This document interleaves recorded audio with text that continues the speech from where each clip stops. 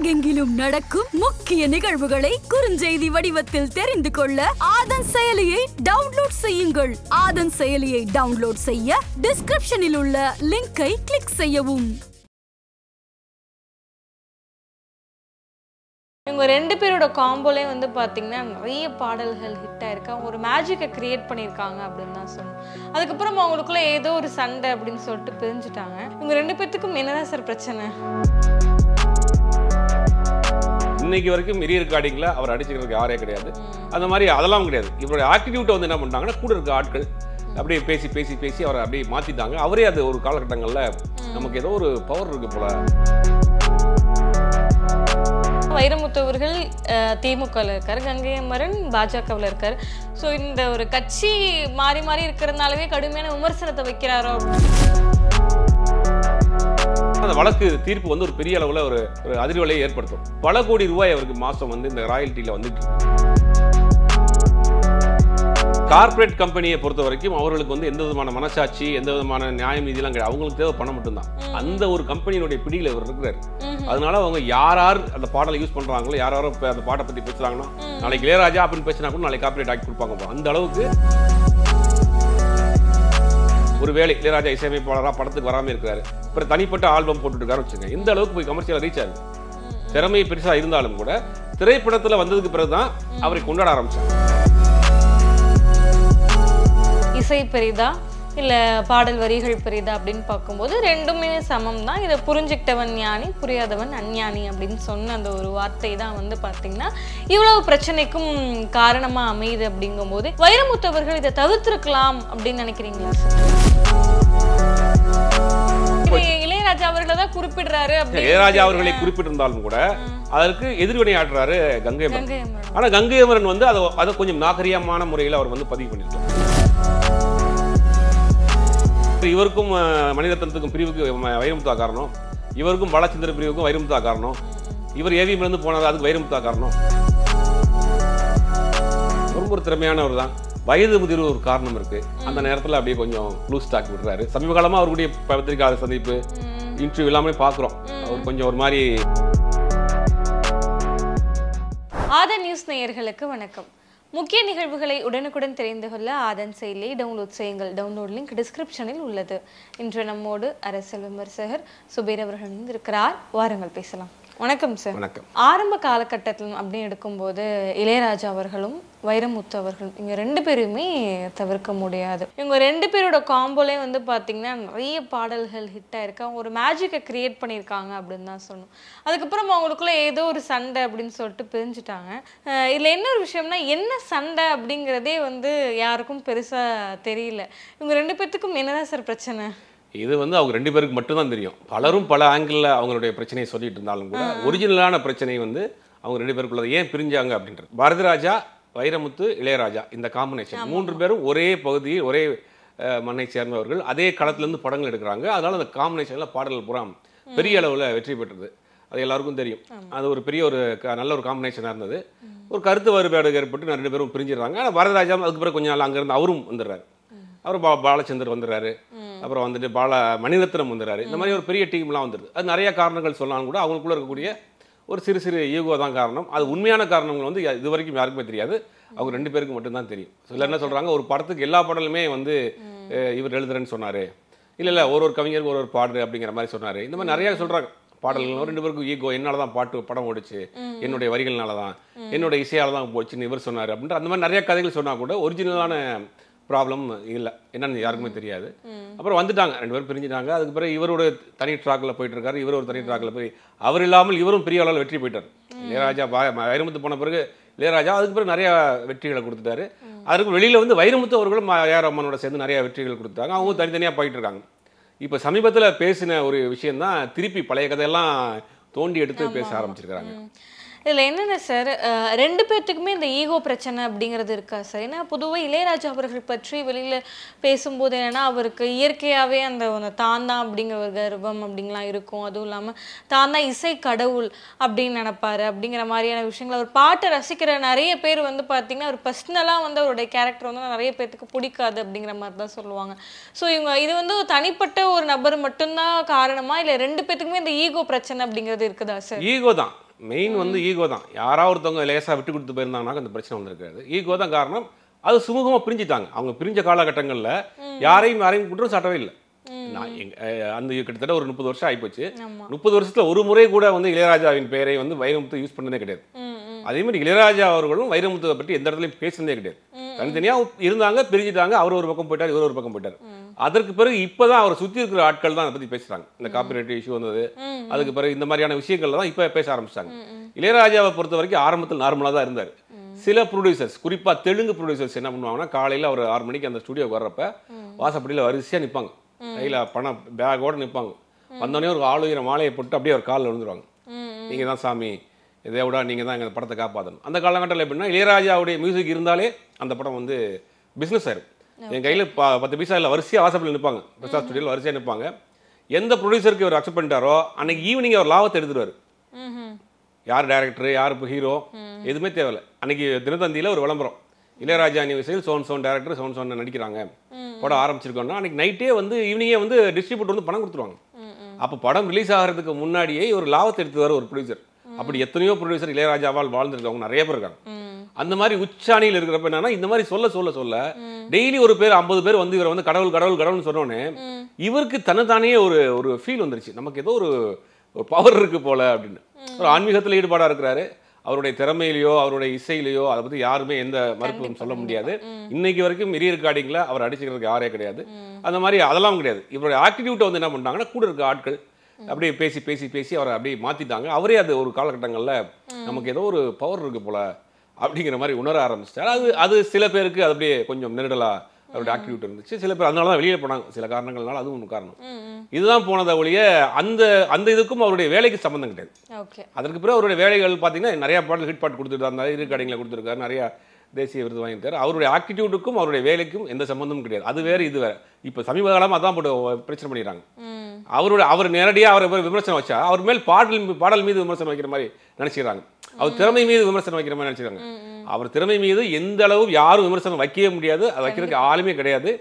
அவருடைய பாடல் வந்து களத்தால் அழிக்க முடியாது. நாற்பது வருஷத்துக்கு முன்னாடி கேட்ட பாட்டை இன்னைக்கும் ஃப்ரெஷ்ஷாக கேட்டுக்கிட்டு இருக்கோம். மூன்றாம் நான்காம் தலைமுறை பிள்ளைகள் கூட கொண்டாடிட்டு இருக்காங்க. அதனால அவரு அவருடைய திறமை பற்றியோ அவருடைய பாடலை பற்றியோ எந்த விதமான விமர்சனமும் கிடையாது அதில் எதுவுமே கிடையாது. யாருமே எதிர்- எதிர்முகாமர்கள் கூட அந்த மாதிரி விமர்சனம் வைக்க மாட்டாங்க. அவருடைய ஆட்டிடியூட்டில் சிலர் அவரை வந்து அந்த மாதிரி சின்ன அப்படியே ஏற்றி விட்டு தனக்கு வந்து ஒரு பெரிய பவர் இருக்கிற மாதிரி அவரை நினச்சிக்கிட்டு சில மாறினதுனால அதைத்தான் விமர்சனம் பண்றாங்க.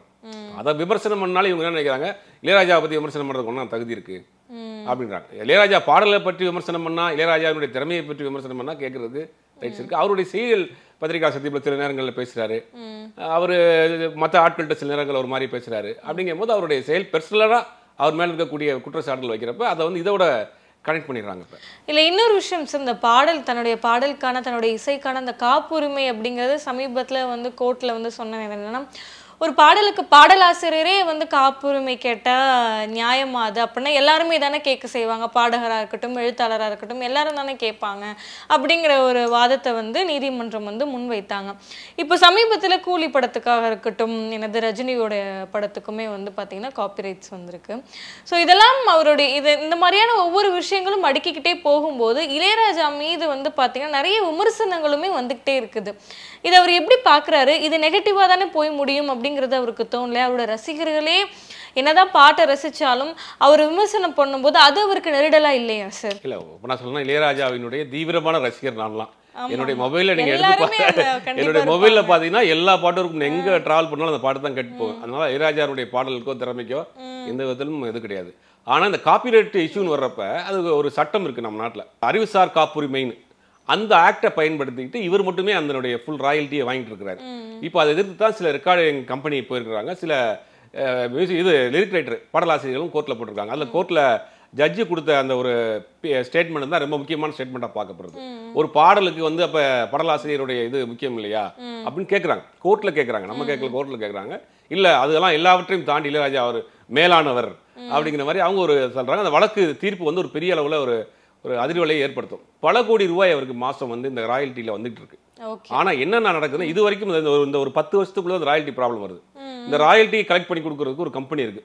அந்த கம்பெனி ஒரு கார்ப்பரேட் கம்பெனி அந்த கம்பெனியினுடைய பிடியில அவர் இருக்கிறார். இளையராஜா. ஓப்பனா சொல்லணும்னா அந்த கம்பெனியினோட பிடியில இருக்கார். அதனால தான் வந்து அவங்க யாருக்கும் பாரபட்சம்லாம் பார்க்க மாட்டாங்க. அவர் பாட்டை எங்கேயாவது ஹம் பண்ணிட்டு போனா கூட உடனே அவங்க நோட்டீஸ் அனுப்பிச்சிருவாங்க இல்ல இப்ப எஸ்பி எஸ்பிபி மாதிரி ஒரு பாட பெரிய பாடகருக்கு அந்த பிரச்சனை வருது அது எல்லாமே ஓகே. ஆனா அந்த கிராமப்புறங்கள்ல கச்சேரி பாடுறவங்களுக்குமே இந்த பிரச்சனை இருக்கு அப்படிங்கும்போது இதெல்லாம் எப்படி சார் அதான் சொல்றேன் அந்த கார்ப்பரேட் கம்பெனியை பொறுத்த வரைக்கும் அவர்களுக்கு வந்து எந்த விதமான மனசாட்சி எந்த விதமான நியாயம் இதெல்லாம் கிடையாது. அவங்களுக்கு தேவை பணம் மட்டும்தான். அந்த ஒரு கம்பெனியினுடைய பிடியில இவர் இருக்கிறாரு. அதனால அவங்க யார் யார் அந்த பாடலை யூஸ் பண்றாங்களோ யார் யாரோ அந்த பாட்டை பத்தி பேசுறாங்கன்னா நாளைக்கு இளையராஜா அப்படின்னு பேசினா கூட நாளைக்கு காப்பிரைட் ஆக்கி கொடுப்பாங்க போல. அந்த அளவுக்கு அவர்கள் எல்லார் பக்கமும் அமைச்சிருக்காங்க. இளையராஜாவுக்கும் எஸ்பிபி அவர்களுக்கும் உள்ள நட்பு என்னங்கிறது தெரியும். கிட்டத்தட்ட ஒரு ரெண்டு பேருமே பிரபலம் ஆகாமதுக்கு முன்னாடி இருந்து நட்பு. அப்படிப்பட்டவருக்கு நோட்டீஸ் அனுப்பிச்சாங்க. அப்படிங்கும் போது இதெல்லாம் வந்து அந்த கார்ப்பரேட் நிறுவனங்களோட பிடியில அவர் இருக்கிறாரு. இப்ப இந்த கார்ப்பரேட் நிறுவனம் பிடியில அவர் இருக்கிறாருங்க போது இதன் மூலமா அவருக்கு வருமானம் வருதுங்கும் போது இளையராஜா அவர்கள் சம்பாதிக்க பணமா சார் அவர்? இல்ல மனிதனுக்கு பணம்ங்கிறது வந்து எப்பயுமே ஒரு போதுமானதாக இருக்காது. மூச்சு காற்று இருக்கிற வரைக்கும் பணம் வந்துட்டே தான் இருக்கணும். அது மாதிரி தான் எல்லாருடைய ஆசையும். அந்த மாதிரி இவருக்கு காப்பிரைட்ல இந்த காப்பிரைட்டுங்கிற ஒரு விஷயம் வந்து பத்து வருஷமா தான் தெரியும். அப்படி ஒரு இடத்துல இருந்து தெரியாத இடத்துல இருந்து ஒரு இடத்துல பணம் வருதுன்னா யாரும் அதை வேணாம்னு சொல்லுவா. எனக்கு நான் வந்து இந்த மாதிரி ஒரு வீடியோ பண்றேன். ஒரு ப- பத்து வருஷம் கழிச்சு நீங்க பண்ண வீடியோக்கெல்லாம் காப்பிரைட் இருக்கு நாங்க வாங்கி தரோம்னு யாரோ ஒருத்தர் வந்து நின்னாங்கன்னா அது எனக்கு அனாவசியம் வர வர்றது காசு தானே அது. அப்படிங்கும் போது அதை ஏத்துக்கிட்டாரு அவர். ஆனா அதற்காக அந்த பணத்தை வசூல் பண்றதுக்காக இவர்கள் ஒரு ஒரு என்ன சொல்றது யார் மேல வந்தாலும் நோட்டீஸ் அனுப்பக்கூடிய வேலையை செஞ்சுட்டு இருக்காங்க. அது அது வந்து இளையராஜா அவர்களுடைய பேரை வந்து பெரிய அளவுல டேமேஜ் பண்ணிட்டு இருக்கு அவர் மேல இவ்வளவு நாள் தமிழ்நாட்டு மக்கள் வச்சிருக்கக்கூடிய ஒரு பெரிய மதிப்பு மரியாதை வச்சிருக்காங்க அது எல்லாமே வந்து இன்னைக்கு அந்த இவங்களால் பண்றதுனால அவர் அவர் பேரும் சேர்ந்து அதுல கட்டிட்டு இருக்கு. இந்த காப்பிரைட் விஷயத்தை பொறுத்த வரைக்கும் ஒரு சினிமா பாடல் அப்படிங்கிறது வந்து ஒரு கூட்டு முயற்சி தான். தனிப்பட்ட முறையில் யாருமே வந்து அதை செஞ்சிட முடியாது. இப்போ வயலில் ஒருத்தவங்க வேலை செய்கிறாங்க களைப்பு தீர பாடிக்கிட்டே வேலை நாற்று நடுறாங்க அப்படின்னா அவங்களே மெட்டமைத்து அவங்களே பாடி பண்ணுவாங்க அவங்க மட்டும்தான் காப்பிரைட் கொண்டாட முடியும். என்னுடைய பாட்டுன்னு அவங்க மட்டும்தான் கிளைம் பண்ண முடியும். ஒரு மீன் பிடிக்க போடக்கூடிய ஒரு மீனவர்கள் வந்து களைப்பு தீர பாடிட்டே போறாங்கன்னா அவங்க மட்டும்தான் காப்பிரைட் கிளைம் பண்ண முடியும். ஏன்னா அவங்க மட்டும்தான் அந்த பாடலுக்கு முழுவதுமான சொந்தக்காரர்கள். ஆனா திரைப்பட பாடல் அப்படிங்கிறது ஒரு இசையமைப்பாளருடைய டியூன் ஒரு பாடலாசிரியருடைய வரிகள் ஒரு பாடகர் பாடகிகளுடைய குரல் எல்லாவற்றுக்கும் மேல அந்த இசைக்கலைஞருடைய அந்த இசை இசை இருக்கணும். அது எல்லாவற்றுக்கும் மேலாக ஒரு சவுண்ட் இன்ஜினியருடைய அந்த மிக்சிங் இருக்கணும். இத்தனை பேருடைய கூட்டு முயற்சி கூட்டு உழைப்பில் உருவாகுறது தான் ஒரு பாட்டு. வெறும் டியூனை மட்டும் நீங்க வந்து கேட்க முடியாது. அந்த வெறும் டியூனை மட்டும் வரிகள் இல்லாம கேட்டாலும் கூட அதை ரெக்கார்ட் பண்றதுக்கு ஒரு இன்ஜினியர் வேணும்ல. அதை ரெக்கார்ட் பண்றதுக்கு ஒரு மைக் வேணும்ல. அப்படிங்கும் போது இப்ப இளையராஜா அவர்கள் இளையராஜா வந்து அஹ், வைரமுத்துடைய பாடல்லாம் போச்சு இல்ல பாடலாசிரியர்களுடைய பாடல்னால தான் ஹிட் ஆச்சுன்னு சொல்ல முடியாது. எல்லாம் சேர்ந்து பண்ணக்கூடியது. இது ஒரு- ஒருவேளை இல்லை இளையராஜா டியூன் இருந்தாலும் போதும். அவர் வெறும் கம்மிங் மட்டும் போனாலே நாங்கள் ரசிக்கிறதுக்கு தயாராக இருக்கோம் அப்படின்னா ஒரு வேலை இளையராஜா இசையமைப்பாளராக படத்துக்கு வராமல் இருக்கிறாரு. அப்புறம் தனிப்பட்ட ஆல்பம் போட்டுட்டு வச்சுங்க இந்த அளவுக்கு போய் கமர்ஷியலாக ரீச் ஆகும் திறமை பெருசாக இருந்தாலும் கூட திரைப்படத்தில் வந்ததுக்கு பிறகு தான் அவரை கொண்டாட ஆரம்பிச்சாங்க. அதற்கு முன்னாடி நிறைய ஆல்பம்ஸ் பண்ணியிருக்காரு இளையராஜா. ராகுல் கனிஃபாக முத முதல்ல அவருக்கு தான் கம்போஸ் பண்ணி ஒரு பாடல் பாடி கொடுத்துருக்காரு மியூசிக் பண்ணியிருக்காரு நிறைய டிவோஷனல் சாங் பண்ணியிருக்காரு. அப்பெல்லாம் அவருடைய ரீச் இல்லையே. திரைப்படம்னு ஒரு இடத்துக்கு பிறகு தான் அவருடைய ரீச் எல்லாருக்கும் போய் சேருது. சாமானிய மக்களுக்கும் அவருடைய பாடல் போகுது. அப்படிங்கும் போது அது எல்லாருடைய கூட்டு முயற்சி தான். அது நான் மட்டும்தான் பொறுப்புன்றது அதை வந்து அவர் சொல்றாரு அதை கிளைம் பண்ண முடியாது. எல்லாருடைய கூட்டு முயற்சியில் உருவாகுறது தான் ஒரு பாட்டு. இல்ல இந்த இப்ப பிரச்சனையே வந்து பாத்தீங்கன்னா ஆரம்பத்துல வைரமுத்து அவர்கள் சொன்ன ஒரு விஷயம்தான். இசை பெரிதா இல்ல பாடல் வரிகள் பெரிதா அப்படின்னு பார்க்கும்போது ரெண்டுமே சமம் தான் இதை புரிஞ்சுக்கிட்டவன் ஞானி புரியாதவன் அஞ்ஞானி அப்படின்னு சொன்ன அந்த ஒரு வார்த்தை தான் வந்து பாத்தீங்கன்னா இவ்வளவு பிரச்சனைக்கும் காரணமா அமையுது அப்படிங்கும்போது வைரமுத்து அவர்கள் இதை தவிர்த்திருக்கலாம் அப்படின்னு நினைக்கிறீங்களா சார்? இல்ல சமீப காலமா இந்த சர்ச்சை போயிட்டு இருக்கு. இந்த சர்ச்சை வந்து பாடல் பெருசா இல்ல இசை பெருசாங்கிறது ரொம்ப நாளா போயிட்டு இருக்கு. ஒரு டிபேட் மாதிரியே போயிட்டு இருக்கு. இப்போ அது ஒரு பேசு பொருளா இருக்கு. கோர்ட்ல அது வழக்கு நடக்குது. ஜட்ஜஸ் சில பேர் பேசியிருக்காங்க. இதை கோட் பண்ணி அவர் பேசுறாரு. அதாவது ஒரு பாடலுக்கு இசை முக்கியமா இருக்கும். ஒரு சில பாடலுக்கு மொழி முக்கியமா இருக்கும். ரெண்டும் சேர்ந்து ஒரு சில பாடல் வெற்றி அடையும். யாரும் இதுல உரிமை கொண்டாட முடியாது. எல்லாரும் கலந்தது தான் ஒரு பாடலுங்கிறது. அர்த்தத்துல அவர் பேசியிருக்காரு இது புரிந்து கொண்ட ஒரு ஞானி அஞ்ஞானின்ற மாதிரி அவர் சொல்லியிருக்காரு இது அதோட போய் இளையராஜா அவர்களை தான் குறிப்பிடுறாரு இளையராஜா அவர்களை குறிப்பிட்டிருந்தாலும் கூட அதற்கு எதிர்வினை ஆற்றுறாரு கங்கை அமரன். கங்கை அமரன் ஆனா கங்கை அமரன் வந்து அதை அதை கொஞ்சம் நாகரிகமான முறையில் அவர் வந்து பதிவு பண்ணிருக்கலாம் இதோட நிப்பாட்டிக்குங்க. நான் வந்து உங்களை நாங்க தான் உங்களை வளர்த்தோம். நான் எங்கள் உங்களை எங்களால தான் நீங்கள் இவ்வளவு பெரிய உயரத்துக்கு போயிருக்கீங்க. டெய்லி எங்கள் இளையராஜா ஃபோட்டோ வச்சு சாமி கும்பிடுங்க. அப்படி இப்படின்னு நம்ம பயங்கரமா பேசுறாரு. மிரட்டுகிற தோணியில இதோட நிப்பாட்டிக்குங்க. இல்லாட்டி நாங்க என்ன பண்ணுவோம்னு தெரியாது அப்படிங்கிற மாதிரி பேசுகிறாரு அதாவது ஒரு வீரியமுள்ள ஒரு விதை வந்து எந்த இடத்துல வேணாலும் முளைச்சி வந்துடும் வஞ்சீர்ணா சேலம் வந்து பல இடங்களில் பதிவு பண்ணியிருக்காரு. நான் இளையராஜா அவர்களை அறிமுகப்படுத்தலைன்னா இன்னொரு தயாரிப்பாளர் அறிமுகப்படுத்திப்பார். அதே மாதிரி அதே இதுதான் வந்து இவருக்கும். இளையராஜா வந்து வைரமுத்து அறிமுக வைரமுத்துவை வந்து இளையராஜா அறிமுகப்படுத்தலைன்னா இன்னொரு இசையமைப்பாளர் அறிமுகப்படுத்திருப்பார் என்ன ஒன்று காலதாமமாக இருக்கும். ஏன்னா அந்த காலத்தில் இளையராஜா பீக்கா இருந்தார். அதுக்கு பிறகு ஒரு அஞ்சாறு வருஷம் கழிச்சு இன்னொரு இசையமைப்பாளர் வைரமுத்து அறிமுகப்படுத்தியிருப்பார். இதுதான் ஒரு உண்மையை ஒழிய அவர் அவருடைய திறமை மீறிய மீதே வந்து ஒரு கல்லறிகிற மாதிரியான வேலை செய்கிறார் கங்கைமரன் அதாவது அவருடைய அவருக்கு ஒண்ணுமே திறமை இல்லை. நாங்க தான் அவருக்கு எழுத கற்றுக் கொடுத்தோம். நாங்க தான் வந்து அவருக்கு பாட்டு சொல்லி கொடுத்தோம் அப்படிங்கிற மாதிரியான அவர் திறமை மீது ஒரு குற்றச்சாட்டு வைக்கிறதெல்லாம் வந்து அபத்தமான குற்றச்சாட்டு. அவர் முதல் பாடல் எழுத வர்றதுக்கு முன்னாடி அரசாங்கத்தில் ஒரு உயரிய பதவியில் இருக்கிறாரு. இரண்டு மூன்று புத்தகங்கள் போட்டிருக்கிறாரு. ஒரு இலக்கிய உலகில் அறியப்பட்ட நபராக ஆகிட்டு வந்து வந்து வந்த டைமில் ஒருவேளை திரைப்பட பாடலே எழுதாமல் இருந்தாலும் கூட இலக்கிய உலகில் இன்னைக்கு ஒரு ஒரு கவிக்கோ மாதிரி அப்துல் ரஹ்மான் மாதிரியோ மு. மேத்தா மாதிரி அந்த மாதிரி இலக்கிய உலகில் அவருக்குன்னு ஒரு இடம் இருந்திருக்கும். ஒரு இலக்கியவாதியாக இருந்திருப்பார். அப்படிங்கும்போது அவரை நாங்கள் தான் உருவாக்கணும்னு சொல்கிறதுன்னு வந்து அவருடைய திறமையின் மீதே வந்து ஒரு சந்தேகத்தை ஒரு கல்லறிகிற மாதிரியான விஷயம் பண்ணுறாரு அதுதான் இப்ப பெரிய அளவுல விமர்சனமா போயிட்டு இருக்கு ஏன்னா இப்போ அவங்க இருந்து சொல்ற விஷயம் என்னன்னா இளையராஜா அவர்கள் வந்து இன்ட்ரடியூஸ் பண்ணல அப்படின்னா வைரமுத்து அவர்கள்னு ஒருத்தர் தெரியாமலே போயிருப்பாரு அப்படின்லாம் சொல்றாங்க. ஸோ அப்படி ஆயிருக்குமா சார் அந்த மாதிரி? இல்ல அப்படி இல்ல. அந்த காலகட்டங்களில் இளையராஜா பீக்ல இருக்கிறார். வேற இசையமைப்பாளரே பெருசா இல்ல. அப்படிங்கும் போது ஒரு அஞ்சு ஆறு வருஷம் கழிச்சு வேற ஒரு இசையமைப்பாளர் அறிமுகப்படுத்திருப்பார் ஓகே. அந்த காலங்கள் கொஞ்சம் கேப்பா இருக்குமே ஒழிய அவருடைய திறமை என்னைக்கு தான் வெளியே வந்துடும் இல்ல, நன்றி மறந்தாச்சு அப்படிங்கிற மாதிரியான விஷயம்லாம் சொல்றாங்க. ஸோ அது எந்த அளவுக்கு வைரமுத்து அவர்கள் இதற்கான அதாவது பதில் அந்த நன்றி மறந்து அவர் என்ன செஞ்சார் அப்படிங்கறத நம்ம பார்க்கணும்ல. நன்றி மறந்து பொது இடங்கள்ல உட்கார்ந்து இளையராஜாவை தூத்துனாரு இளையராஜாவோட வாய்ப்புகளை பறிச்சாரு இளையராஜா மேல ஏதாவது வழக்கு போட்டிருக்கிறாரு இளையராஜாவை பத்தி அவதூறா பேசியிருக்கிறாரு அப்படின்னு ஏதாவது சொல்லுங்க. ஒண்ணுமே கிடையாது. ரெண்டு பேரும் சேர்ந்து பண்ணாங்க. ரெண்டு பேருக்கும் ஒரு கருத்து வேறுபாடு ஏற்பட்டுச்சு. ரெண்டு பேரும் பிரிஞ்சு போயிட்டாங்க. இன்னைக்கு பிரிஞ்சு இருபத்தஞ்சு வருஷம் ஆச்சு. இவரு அந்த- அந்த பக்கம் ஒரு வேற வேற ஒரு இதுல ட்ராக்ல போயிட்டு இருக்காரு இவரு ஒரு ட்ராக்ல போயிட்டு இருக்காரு எந்த இடத்துல நன்றி மறந்து அவர் என்ன செஞ்சார்? அதை பார்க்கணும்ல என்ன இடைஞ்சல் பண்ணாரு? என்ன நன்றி மறந்து இவர் வாய்ப்புகளை பறிச்சிட்டாரு? இவர் இவருக்கும் மணிரத்னத்துக்கும் பிரிவுக்கு வைரமுத்தா காரணம். இவருக்கும் பாலச்சந்திர பிரிவுக்கும் வைரமுத்தா காரணம். இவர் ஏவிஎம் இருந்து போனார்? அதுக்கு வைரமுத்தா காரணம். இல்ல கிடையாது. அப்படி கிடையாது.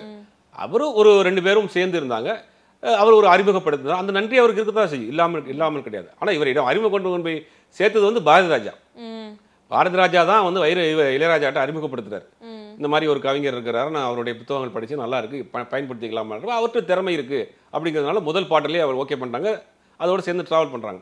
அப்ப இன்னைக்கு வரைக்கும் வைர பாரதிராஜா அவரோட இண- இணக்கமா தான் இருக்கிறார் வைரமுத்து அவர் பாரதிராஜா இளையராஜாவிட்ட இருந்து வெளியே வந்த பிறகு எல்லா பாடலுக்குமே வந்து வைரமுத்து இன்னைக்கு வரைக்கும் எழுதிட்டு இருக்காரு.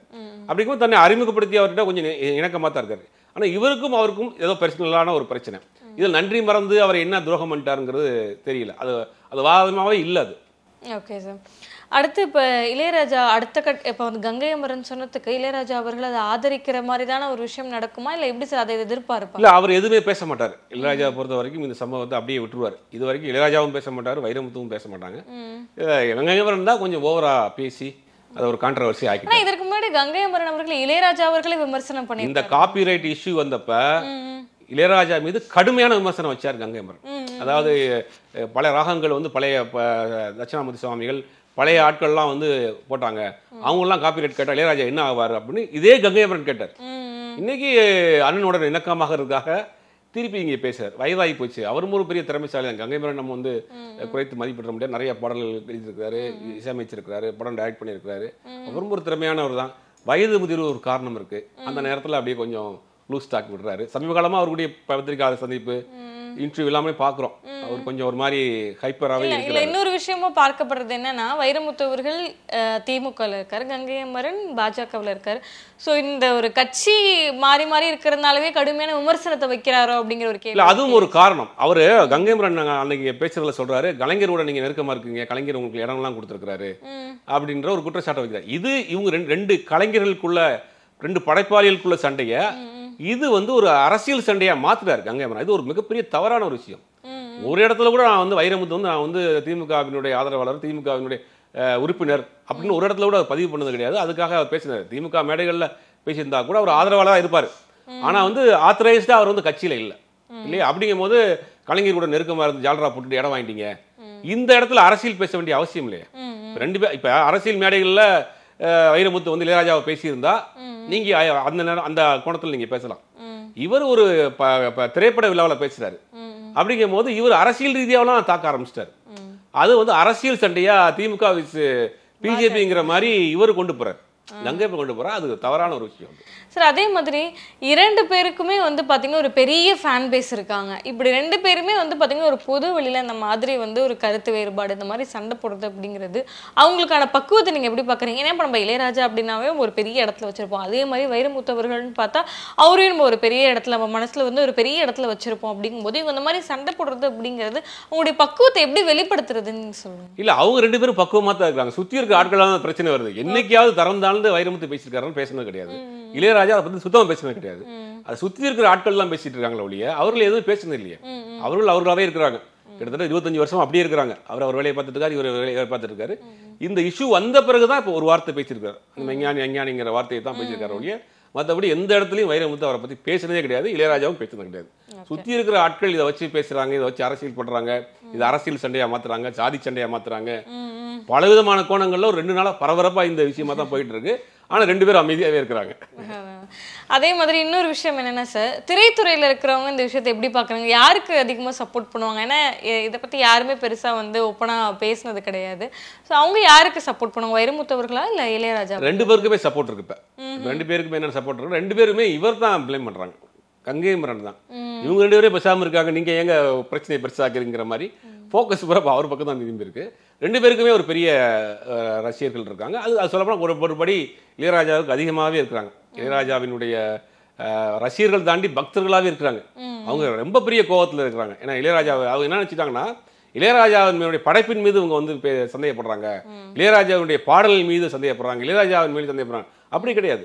அது அவங்க வந்து ஒரு குற்றச்சாட்டு. இளையராஜாங்கிற ஒரு தனிநபர் மீது அவர் செய்யக்கூடிய சில வேலைகள் காப்பிரைட் இஷ்யூவாக இருக்கட்டும் அவருடைய பேச பேச்சாக இருக்கட்டும் அவருடைய அரசியல் நிலைப்பாடாக இருக்கட்டும் அதைத்தான் விமர்சனம் பண்றாங்க. இவர்கள் இளையராஜாவை ரசிக்கக்கூடியவர்கள் என்ன நினைக்கிறாங்க அப்படின்னா இளையராஜாவுடைய திறமையின் மேல வந்து அவங்க வந்து விமர்சனம் வைக்கிறாங்க. இந்த இப்ப பாடல் மீது விமர்சனம் வைக்கிறாங்கன்றாங்க அது வேற மாதிரி போயிட்டு இருக்கு இப்ப. அது அது மட்டும் கிடையாது. இது அரசியல் ரீதியான சண்டையா மாறுது சாதி ரீதியான சண்டையா மாறுது. சமூக வலைதளங்கள்ல ரெண்டு நாளா மாறி மாறி ஒரு பெரிய ஒரு டிபேட்டா போயிட்டு இருக்கு இப்ப. நிறைய கேள்விகளுக்கு ரொம்ப ஒரு தெளிவான விளக்கத்தை கொடுத்துருக்கீங்க. மேலும் வேறொரு வீடியோவில் சந்திக்கிறேன். அதுவரை விடைபெறுவது பவித்ரா முருகேசன்.